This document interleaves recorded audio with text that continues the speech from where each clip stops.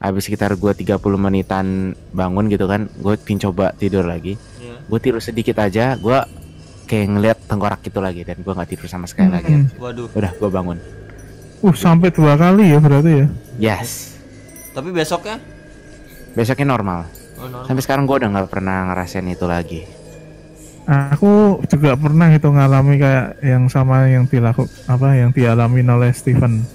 Jadi mungkin rata-rata kebanyakan pernah ngalami seperti itu ya. Jadi waktu kita tidur Oh, kalau saya enggak. tiba-tiba ada kayak satu atmosfer yang lain gitu, perasaan yang nggak enak gitu, dan tiba-tiba kita nggak bisa menggerakkan apa-apa. Kayak, Mau ngomong aja nggak bisa. kayak ketindihan gitu ya, Pak? Nah, kayak semacam ketindihan, tapi di sana kita lihat satu so- kalau kalau si Steven tengkorak ya, kalau Iya. aku sosok perempuan, sosok perempuan di depan muka gitu. Waduh. Nah, itu waduh, mau ngomong apa gitu nggak bisa mau ngomong. "Eh, eh, eh, eh." Dan saya paksakan itu. Eh, maaf, maaf, maaf bicara kalau dari eh, dari religi saya, saya nyebutnya beberapa kali pernah gitu kejadian seperti itu. Jadi kadang tidur sebentar gitu, meskipun nggak ngelihat penampakan tapi pernah itu juga. Atmosfer um, selalu gini selalu kalau kejadian seperti itu pasti mimpinya mimpi buruk dulu sebelumnya. Entah itu mimpi atau kita apa ya mungkin dari alam dimensi roh dan roh itu ketemu atau gimana kita nggak tahu ya Iya, masalah betul. itu ya.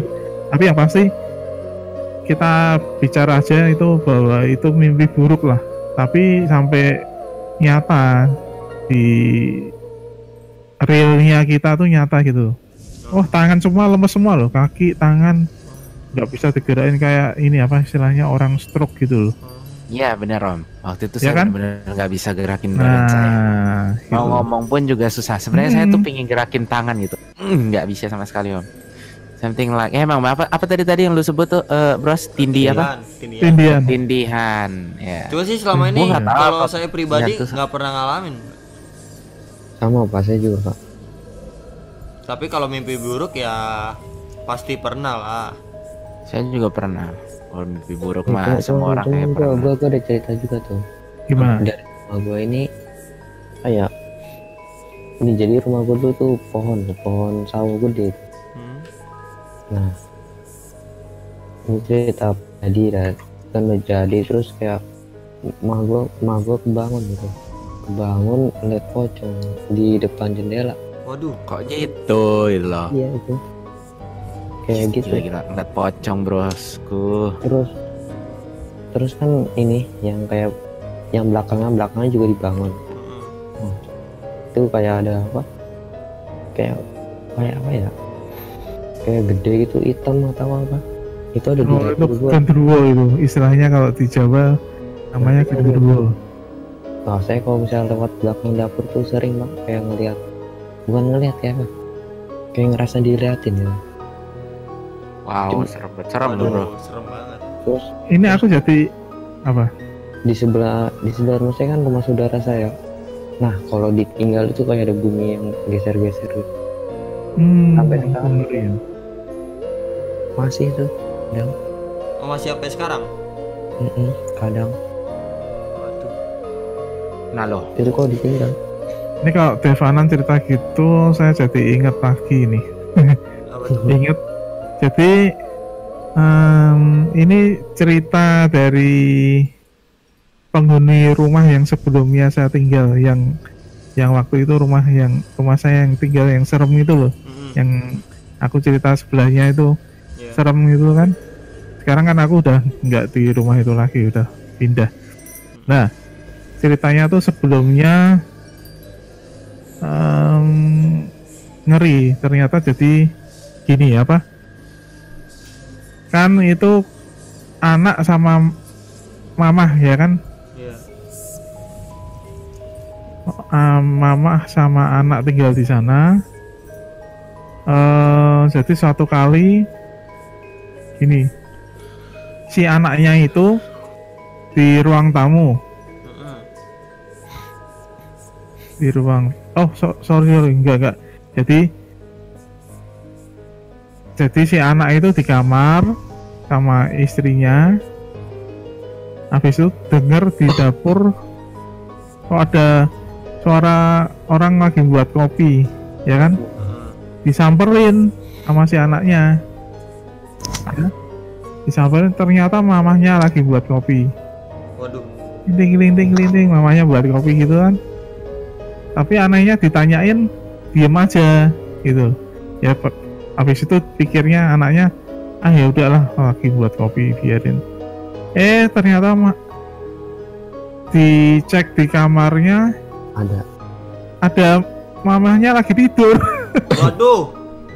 Wah. nah itu loh itu sampai se- sedemikian rupa itu seremnya seperti itu. Wah, itu sih parah sih seremnya sih. Nah kayak gitu itu. Itu jadi heboh dong pak. Wah iya wah itu Maaf. Oke, tuh teman-teman. Jadi waduh ini dari kita berempat ini udah punya masing-masing apa background story yang cukup serem banget ya. Udah Iya. dari pengalaman semuanya lah gitu. Udah serem banget gitu teman-teman. Nah, mungkin kalian juga ada pengalaman-pengalaman serem yang lainnya bisa coba ditulis di kolom komentar ya teman-teman. Biar kita ini malam Jumat ini makin serem nih ya. Kita udah reko- recording malam Jumat dari tadi ngalamin gangguan ya teman-teman ya. Udah ngalamin Iya. gangguan. Terus tadi juga dengar suara kaki lah terus disconnect. Waduh. Dan ini nggak ada drama ya ya Pak Retro yang gimana Ya ini murni bukan drama ini. Ini real nih karena ini kan kontennya si Big Bros ini.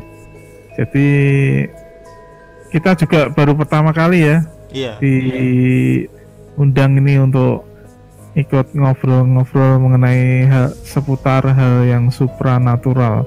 Iya. dan ternyata memang hal-hal seperti itu nyata adanya. Jadi ada memang ada ini ya apa setan-setan pengganggu di dengan dimensi yang lain.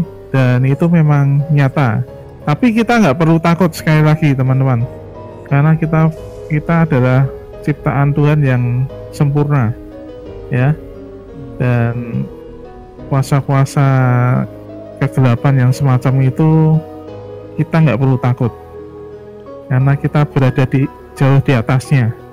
Oke. Oke itu apalagi kita kan punya Tuhan ya. Nah. Kita masing-masing punya Tuhan. Jangan takut. Kalau kalian takut malah ka- semakin kalian takut semakin mereka akan mengintimidasi ya Iya. sema- jadi semakin kalian merasa takut kalian akan semakin di dihantui tapi kalau kamu yakin percaya kamu punya Tuhan Tuhan berserta kita semua pastilah gak ada lah gangguan-gangguan semacam itu. Oke, itu pesan dari Pak Retro ya, teman-teman. Semoga kalian juga bisa apa ambil hikmahnya teman-teman semuanya. Dan jangan lupa juga ya teman-teman untuk di-subscribe channel Pak Retro, Saryu dan Gimbal di link deskripsi bawah video teman-teman ya. Mungkin kalau misalkan kalian juga suka nih kita cerita-cerita gini, komen aja di bawah ya teman-teman ya. Mungkin nanti kita bisa cerita-cerita lagi kalau emang pada demen gitu teman-teman ya. Oke, mungkin sampai sini aja dulu perjumpaan kita untuk cerita serem malam Jumat kali ini. Dan seperti biasa kita bakal salam dulu yuk. Salam Big Bros yo. Dadah. Bye.